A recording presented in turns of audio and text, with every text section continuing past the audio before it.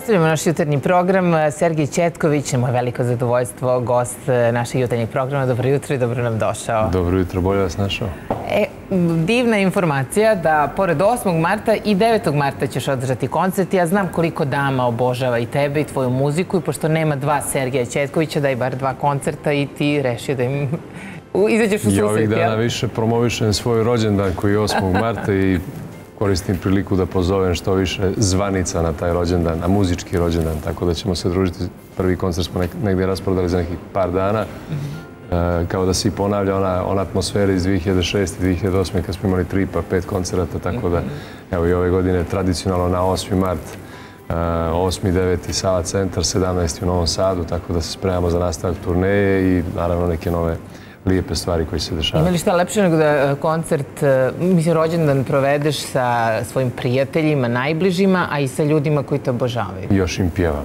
Još i pjevam. Pa me lepota. Kakav rođendan? Jesi osmislio nešto da to... Ja mislim da su ljudi e, kada dolaze da slušaju tebe, da je to prvenstveno muzika i pesme koje vole. Ali da li uz to ti voliš da priradiš i ne znam neka izneđe? Ne mogu te zamislim da sad nešto ti igraš i, i na sceni si pa sa nekim plesačima. Pa nisi onda vjerojatno dugo bilo neko moj koncert. Nisam dugo, iskreno. Pa da, da, ja tu svašta radim, mislim. E, sad nam ispričaj šta radiš i šta će to biti Igram, zanimljivo novo. Igram, pjevam, skačem, pričam, svašta radim.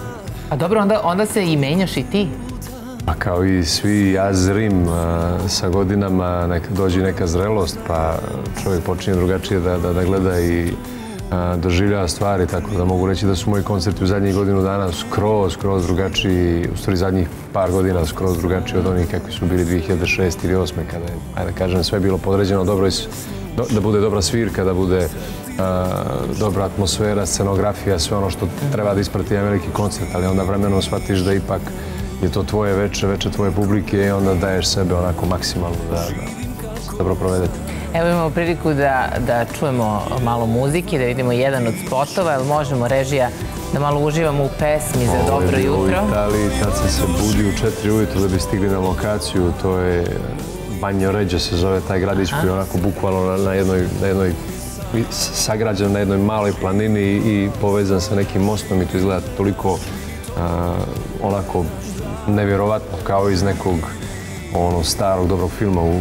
Uglavnom podsjeća na ono ne znam ja gospodar prstenova na te neke A u četiri jutru ste se budili da biste snimili ovakve izlazak? Da, imali smo termin snimanja od 7 do 9, u stvari da hvatamo te prve zrake sunce, jer već od 9 ovako onako u 6 ujutru, znači nema nikoga bukvalno kao grad duhova, ali već u 9 kao da si onako otvorio, ne znam, ja neka vrata i od jedan put toliko stotina ljudi, turista, jer stvarno onako izgleda impresivno taj grad i vridi ga posjetiti tako da svim onima koji žele da malo obiđu po Italiji, neka obiđu Banjoređu.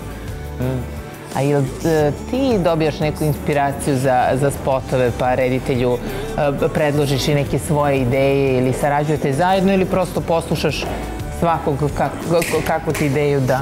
Pa ja negdje pokušam da se ostvarim kroz e, uh, spotove, jer mi je negdje i želja bila davno da završim i režiju, ali pošto je muzika ipak bilo na prvom mjestu, tako da se nadopunjujem kroz ove video spotove, kroz sve ono što ljudi uglavnom gledaju i trudim se da svaki spot ima neku uh, onako filmsku priču, da dobijem i tu filmsku sliku i da, da sve ima smisla, da nekako bude uklopljeno sa dobrom muzikom, tako da u svakom sebe dam kroz scenariju, kroz režiju, kroz biranje lokacija, to mi je negdje, da kažem, možda i najzanimljiviji dio posla, jer kada nađeš dobru lokaciju, već je pola posla negdje završena, onda već treba to razraditi i napraviti da u tih četiri minuta kažeš nešto lijepo kroz muziku, naravno i kroz slike. Malo pred si rekao da s godinama si shvatio negdje da si izreli, a imam utisak da s godinama e, tražimo put kako da ostvarimo sve te neke snove koje smo imali u mladosti ili neke želje, čime sve da se bavimo.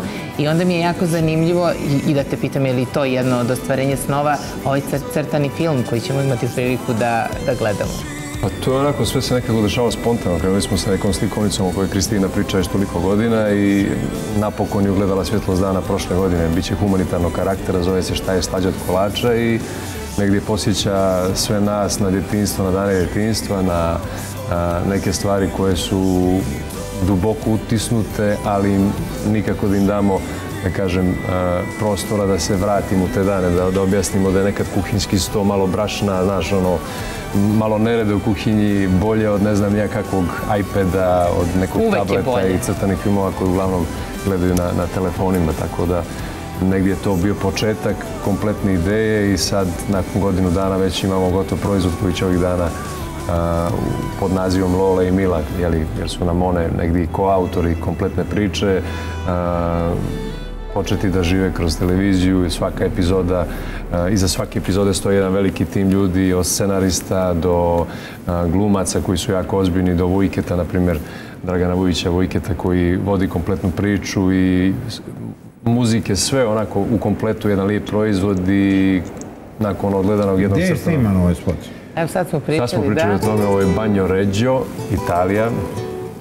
I imali smo neka tri dana pa sam ja tamo organizovao snimanje na nekoliko lokacije. Snimali smo negdje blizu Firence, Toskana, pa smo tu snimali spot Ne živim ja i, i, spot za pjesmu Koro. A crtani film onako poučan, interesantan, svaka priča je onako negdje i maštovita, ali sa poukom na kraju. Da, ali Lola i Mila su glavni likovi i tvoja svakodnevna inspiracija, kako tvoja, tako i tvoje supruge. Tako da, da nam ne fali tema za, za obradu. To, to var nije bilo teško da taj sadržaj bude i duhovit i zanimljiv, a eto i edukativan na kraju. E, vredno radiš, najavljamo koncerte 8. i 9. marta, ali i jedan zanimljiv duet koji je zaista privukao pažnju, a to je Stjepan iz Tučelos i ti. Kako ste došli do saradnje? Pa mi se družimo već neko vrijeme i nakon koncerta koji su oni imali u areni, ja mislim prošle godine u februaru mjesecu, to je jedan od boljih koncerta koje sam gledao u prošle godine i preporučujem jer to je zaista proizvod. Mislim, zvuči glupo reći proizvod, ali dva izvrsna muzičara koji toliko sebe daju muzici i to se čuje kroz te aranžmane i kroz sve ono što su prilagodili na svojim koncertima.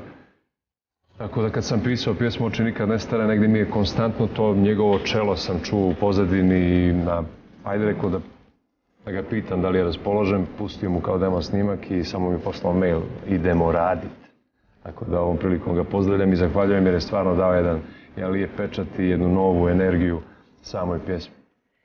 Još jedno da pomenemo za sve one koje vole muziku Sergeja Četkovića, 8. i 9. mart, dakle, za 8. mart Sava centar, slavimo tvoj rođendan 8. a onda i narednih nekoliko dana, je li tako? Torte nemojte donositi, dođite pa samo dobro raspoloženi. Ako domaćice žele da dođe da donese tortu, dobro došli. Prošle godine smo bili u Budvi, e, gdje, smo, gdje sam slavio, stvari radio i slavio rođendan, dobio sam pet torti za jedan dan. Si pojeo sve ili si nešto... Nisam sve, ali sam poprilično pojeo pa sam morao se ličiti na hide se dan. Da. Divno, hvala ti najljepše. E, vidjet ćemo se kod 8. marta i uživat ćemo u tvojim pesmama. E, nastavljamo dalje naš jutarnji program. Uskoro se bližimo i kraju. Vremensku prognozu ili malo...